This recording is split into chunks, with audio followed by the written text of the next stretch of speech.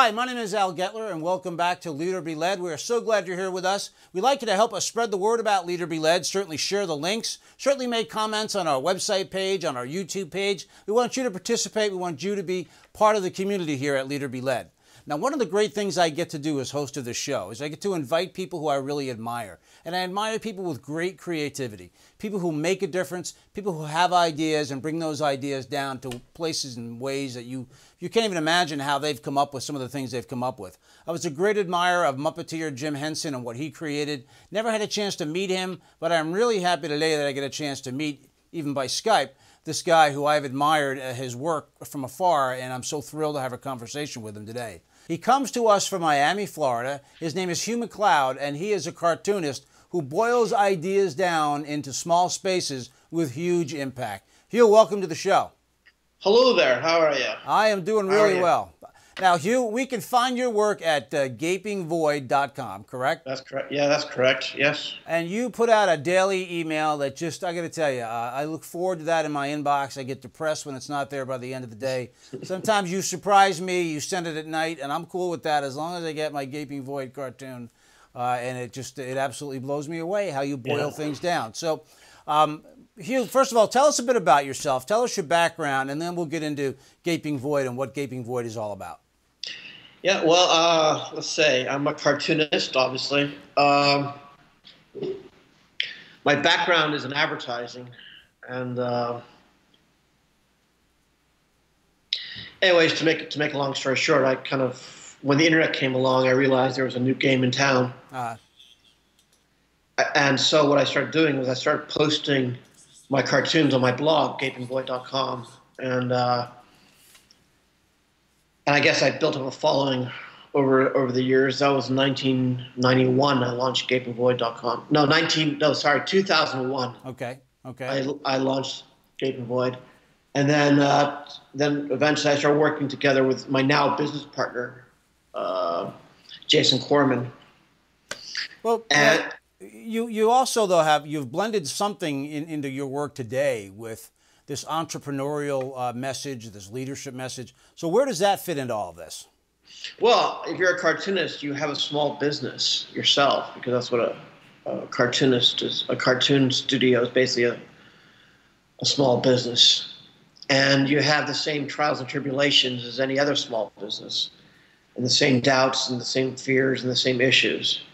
Mm-hmm. Uh, and also, you know, if you look if you look at what most cartoonists write about, they write about their girlfriends, they write about Obama, and it's you know, yeah, yeah, you know, how, how much do you want to write about that? yeah, you know, right, right. What every other cartoonist is writing about. Uh, you know, life. You know, I mean, read any newspapers, fairly the same kind of stuff day in day out and, and, actually there aren't that many cartoonists writing really interesting stuff about business and which to me is weird because business a is very interesting and, and b so many of us are in that position of business where we have to, you know, we have to make payroll. Yeah. And we, yeah. and we ha- and especially now with the internet, we really, really have to know how to create value. I mean, we mm-hmm. can't just show up to work every morning and just expect a paycheck. So we, you know, we're all kind of under the gun. Right. And and so that's what I channel into because and it's funny because we have a lot of a lot of our clients are big companies. You know, like we've done stuff with Hewlett Packard, and we've done stuff with Intel, and we've done doing stuff with Roche pharmaceuticals right now. And they have had the same problem, you know? Yeah. It's like, oh my God, we got to create value. Oh my God, how are we going to do that? I mean, how, and whether it's just you and your Rolodex or whether it's you and your big company and you're as part of a team, it's the same, it's the same gun and those, and they, you know, and it's the same kind of hopes and fears and doubts. And it's a really rich vein. Yeah. Yeah. Uh, and, and so I just, and so I just write about my life but but I and I just don't think many people have done that before, really. I mean, there, there's Dilbert. I mean, don't get me wrong, I love Dilbert. No, but right. but Dil, Dilbert's like, okay, so you hate your job, you hate your boss, and it's funny because Dilbert the character, you know, and Dilbert the uh, comic strip are actually the same thing, the same stuff every day. Right. You know, it's the same. It's the same wheel. Here we go around the wheel one more time. Right. Silly meetings, stupid boss, silly clients, stupid sales meetings. And it's like 20 years later, He's still there, Yeah. and the comic strip's still there. Right. It hasn't. and neither one has developed at all. It's the same. It's the same, and uh, and I, and I know in the syndicate market you have to do that because once you once they once you've nailed down your formula, you're by you know by contract obliged to keep going. Well, and your and your illustrations are uh, entirely different every day, and sometimes there's characters, sometimes there's not. In fact, we've grabbed a video that we'd like to show everybody to give you an appreciation of what Hugh does. And uh, you you and I get to sit back and relax for a few minutes and, and watch Okay. this video uh, on your work on entrepreneurship. So we can roll that video, please.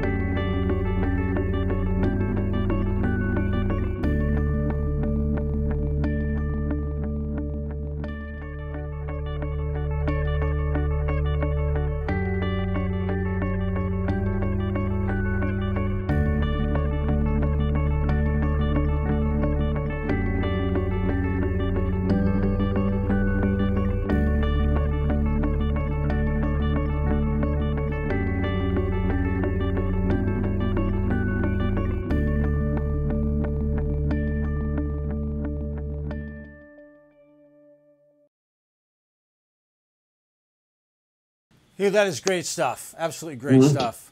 You know, you have some messages there that um, that a lot of people in management and leadership are afraid to tell the people that work for them. You had one that says "fail, fail, fail," and um, tell us a bit about that cartoon. Well, well, it's this idea that the, the, the way you have real innovation is by lots of experiments. If you look at the scientific method, it's trying lots of different experiments, seeing what works, seeing what doesn't, uh, you know, amassing evidence and and testing and testing it. And this idea that uh, if you're not trying, if you're not trying new stuff, and you look at you look at like a really successful company like Apple, right? They try they try new stuff internally a lot. They try a lot of different. You know, will this work on a five inch screen? Will it work on a three inch screen? Will it work on a two inch screen? You know, um,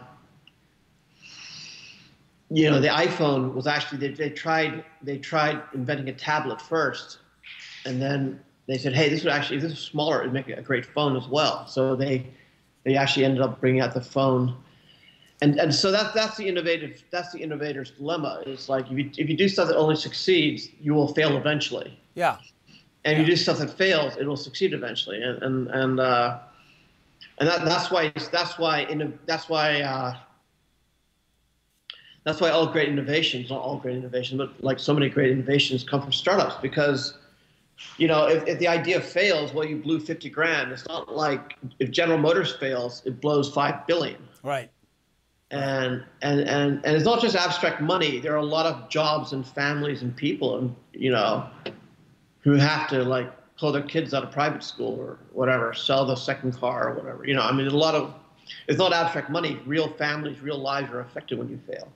But if it's just if it's just a bunch of you know a couple of 26 year old kids in San Francisco who just lost 50, 50 grand of their parents' money, well, they can recover from that. Yeah, but even in a big company, I mean, you can put you can put aside uh, a pot of, of cash to fail, and I think the point of your artwork, uh, or the point at least of that one particular cartoon, is try and fail, and then you're going to create. Um, you know, the, the, the, artwork that you do. Um, you know, I have a business card here. I'll talk about these in a minute. But okay, the the drawings that you do are, are they any are they much bigger than, than this? Like, what do what is it? What is it that you draw on? How do you draw your artwork? Well, I draw most. Well, I got my start drawing little originals on the back of business cards using an old-fashioned, you know, ink pen. So is that how you got started by by? That, yeah, and I still do that. And then and then now because that stuff doesn't replicate to prints very well, I draw on a on a uh, medium-size uh, tablet PC using, you know, drawing software. So oh, it's okay. fairly but I, I, try to keep it as simple as I can. I don't, I don't have like the I don't have a fancy state of the art, you know, like Wacom kind of 24 HD 24. It's just like a little kind of motion computing, you know, uh, Microsoft XP. It's very old fashioned, old school device, I guess. Well, but simplicity is really what what your message is about. I mean, high impact, yeah. high impact drawing, simple, but yet the message is just. Uh, you know, it's, uh, literally, some days your messages blow me away. In fact, we have some cartoons um, that we've downloaded that I just uh, thought we'd spend a few minutes talking about, and maybe you can explain some of the thought press, process behind those. So let's, okay. let's bring the first one up on the screen and, uh, and talk about some of these cartoons. Uh, I am not uh, delusional. I'm an entrepreneur. So what's what's your message there? I mean, I get it, but let me let me hear your message. It's just this idea when you're when you're entrepreneur, when you decide to break away from the safe paycheck, you have no idea whether you're going to fail or not. And it seems like you're going to try to bring something new into the world without any kind of guarantee. And that's usually the uh, sign of a madman. yeah. yeah, at, least, so, at least in the eyes of your in laws, right?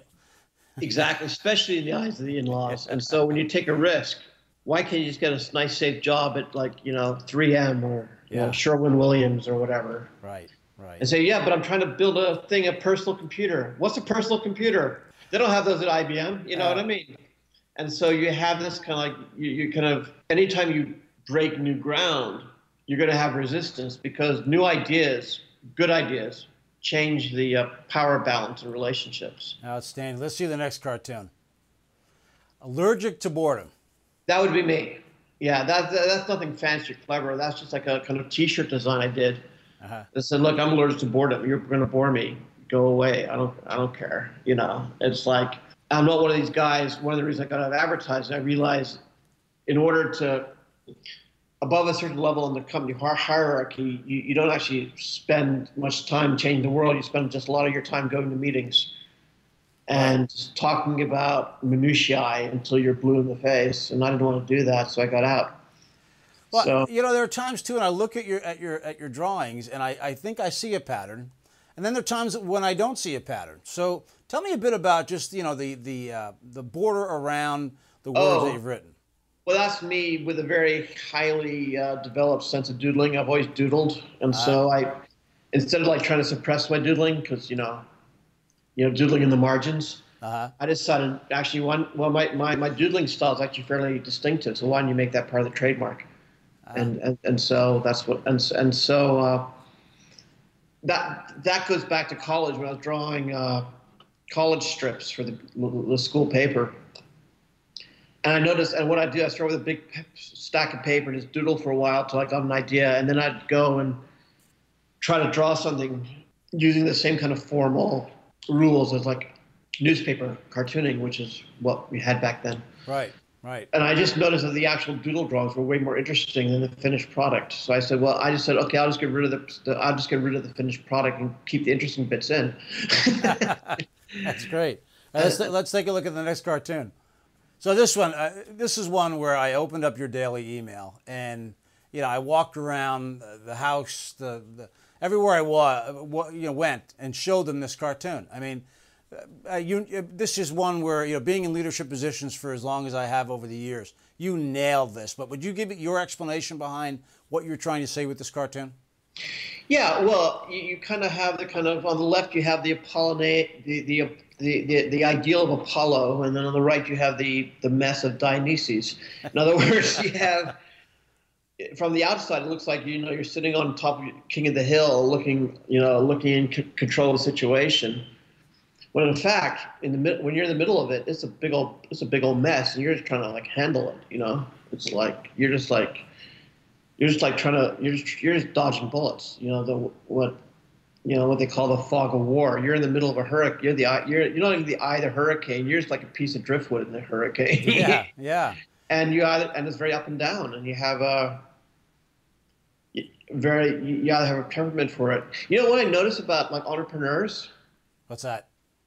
Is they're actually quite once they get away from their office, they're actually quite dull. You know what I mean? They live right. in the suburbs and they drive ordinary cars and they're, they're, they're, they tend to stay married to the same woman because you know what if their lives are all chaos yeah. like you know different women and you know hipster apartments and all that you know lots of you know alcohol and drug abuse and all that they wouldn't be able to like handle the to have that kind of chaos in their private lives and also the chaos of the of being an entrepreneur they, they'd implode yeah so so most most most entrepreneurs i know are you know if you see them away from the office they're kind of you know they watch tv Hey, you know, I'm going to interrupt this interview with Hugh MacLeod because I tell you, he is such a creative guy. He has so many great ideas and so many things to tell you that we're going to cut this interview into two pieces to respect your time and to also make sure that you get all of Hugh's great creativity and great thoughts. So join us next time for part two of my interview with Hugh MacLeod of gapingvoid.com. See you next time.